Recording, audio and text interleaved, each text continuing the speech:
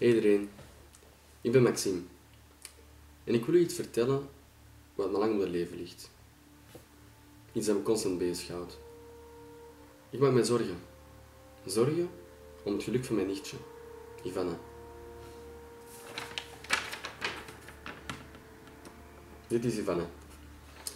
Voor jullie is zij waarschijnlijk een onbekende en papier is ook maar papier, dus vandaar sta mij toe maar even te omschrijven. Ivan is een heel warm persoon, heel behulpzaam. Ze altijd proberen om problemen op te lossen. En dat vertaalt zich ook naar de studierichting waarvoor ze kiest. Ze behaalt haar bachelor assistent psychologie en later ook haar master in sociaal werk. Eens afgestudeerd, begint ze direct te werken. Naast het werk dat ze met volle overgave doet, heeft ze ook één grote hobby: dansen. Goh, Ivana dansen wanneer ze klein is. Voor haar een uitlaatklep. Een echte passie. En ik ben ervan overtuigd dat iedereen nood heeft aan een passie. Want een leven zonder passie is waardeloos. Op 31 oktober 2011 krijgt Ivana totaal onverwacht, zoals ze altijd gaan, een beroerte. Een herseninfarct.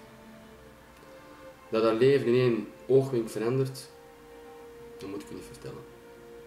Maar ze overleven. En ze vecht terug. Alles moest ze opnieuw leren. Stappen, eten, spreken. Nu nog steeds moet ze twee keer per week naar een kinesist en logopedist. Ondanks beperkingen geeft ze niet op. Nooit. Omdat dans haar grote passie is, besluit ze om zich aan te sluiten bij een dansvereniging waar ook mensen met beperkingen aan de slag kunnen. En zo komt ze terecht bij Platform K.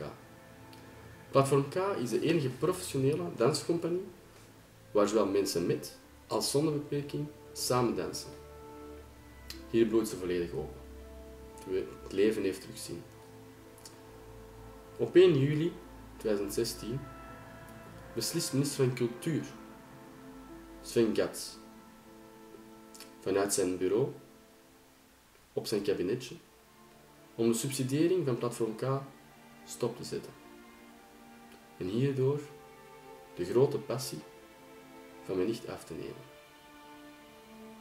Dat zij en honderden andere dansers hier op straat komen te staan, laat hem klaarblijkelijk onberoerd.